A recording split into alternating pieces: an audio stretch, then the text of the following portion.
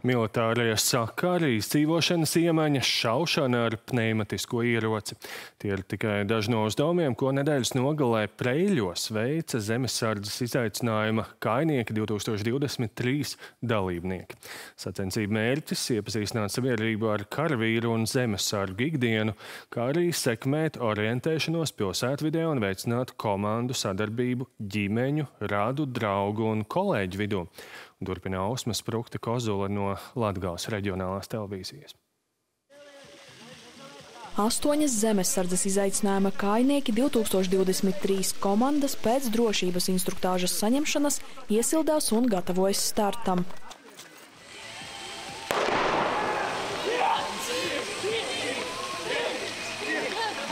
Katras komandas uzdevums ir orientējoties kājām Preļu pilsētā apmeklēt desmit kontrolpunktus. Katrā no tiem praktiski un teorētiski vingrinājumi pietuvināti zemesargu dienesta darbībai, lai arī uzdevumu vidū ir granātas mešana, šaušana un dažādas izdzīvošanas iemaņas, iepriekšējas priekšzināšanas par zemesardzi nav obligātas.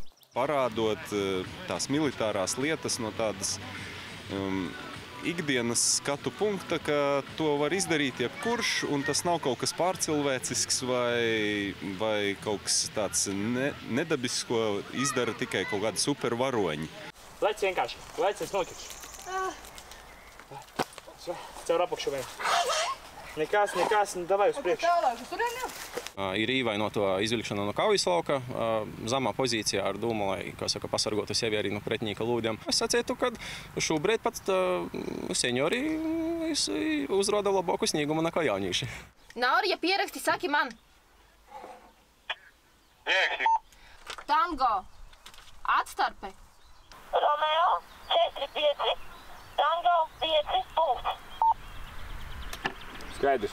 Pavisam sacensību piedzīvojumā piedalījās vairāk nekā 30 dalībnieki ne tikai no Prēļiem, bet arī Krāslavas un Rīgas. Sportotāji gan atzīst, ka vēlētos vēl lielāku konkurenci. Būtu vēl interesantāk, būtu ar ko sacensties. Ar tā nav mums konkurentu. Jā, un dažos kontrolpunktos ir tas, ka acis darba izbijās, rokas darba nebijās. Visi uzrunātie sacensību dalībnieki atzinīgi novērtēja iespēju iejusties karavīru un zemesargu lomā, tā gūstot arī plašāku priekšstatu par to, kā pareizi rīkoties jebkurā krīzes situācijā. Mūsu laikā un mūsu geogrāfiskajā vietā tas ir ārkārtīgi svarīgi. Zemesardzes būtība tas ir brīvprātīgs tautas formējums, kas sākotnēji Latvijai kļūstot neatkarīgai veidojās, um, lai sargātu šo valsti, un viņš joprojām ir. Agrāk es dienēju Nacionālās bruņotajās spēkos, otrā kanija bataljonā, un šis kungs patreiz vēl dienē. Jā. Ja pat līdz preļiem tiek mēroti ceļi un cilvēki brauc un aktīvi piedalās, tad nu, arī lai citās pilsētās atkal plaši. Viennozīmīgi, jā. Cīņas un sporta kluba 2K komanda kļuva arī par sacensību uzvarētājiem. Aptuveni 5 stundas ilgo distanci mērojot 3 stundu laikā.